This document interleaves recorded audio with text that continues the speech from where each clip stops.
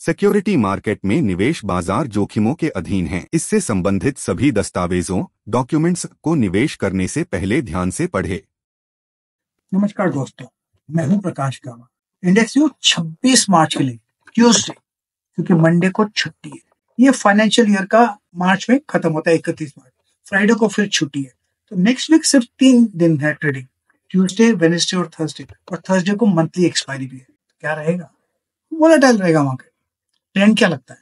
Trend में आपको बताता हूँ क्या लगता है। मुझे क्या दिखता है? हमारा जो आज का लो था, इक्कीस हज़ार नौ सौ के आसपास, ये हमारा स्ट्रॉन्ग सपोर्ट जोन था। वहीं से बाँस मिला है और एक अपो मिला और क्लोज मिला है करीब बाईस हज़ार के आसपास। अब लगता है मुझे कि यहाँ पर एक डबल टॉप बना हुआ है, ये लोअर टॉप कह सकते हैं इसको। ये एक टॉप है, ये सेकंड टॉप है, ये लोअर टॉप कह सकते हैं। लेकिन इसमें मुझे दो गैप भी नज़र आते हैं। एक ये गैप है, ये गैप है। गैप साइन ऑफ़ स्ट्रेंथ है मुझे लगता है। मुझे लगता है बाईस हज़ार दो सौ थोड़ा एक रेसिस्टेंस है। अगर Monday Tuesday Wednesday Tuesday Wednesday Thursday को ये पार कर लेगा बाईस हज़ार दो सौ तो मार्केट बाईस हज़ार चार सौ भी देखेंगे by the end of the year financial year के दिन। ये भी एक पॉसिबिलिटी है। मुझे वीकनेस नहीं नज़र आती। हो सकता है अगर अर्ली मॉर्निंग में गैप अप खुले तो थोड़ी वीकनेस होगी। अगर गैप डाउन मिलेगा तो एक बाइंग आएगी। लेकिन मुझे लगता है यहाँ पर एक बाईस हज़ार जो है जोन यहाँ पर थोड़ा स्ट्रगल करेगा, फिर एक अपू शायद बाईस हज़ार दो सौ जाएगा। अगर वो पार कर लेगा तो बाईस हज़ार चार सौ। थोड़ा ट्रिकी है निफ्टी यहाँ पर। बैंक निफ्टी क्या लगता है? बैंक निफ्टी में भी वही है कि अब तक तो स्ट्रक्चरली वीक नज़र आता है।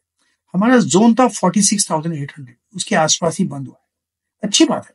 यहाँ पर मुझे दो गैप्स नज़र आते हैं। साइन ऑफ़ स्ट्रेंथ लगता है इसमें आपको मिलना चाहिए बैंक निफ्टी में। अगर ऐसा कुछ होगा तो forty seven thousand three hundred भी जा सकता है। एक दो दिनों में मतलब ट्यूसडे वेनेसडे थर्सडे तक।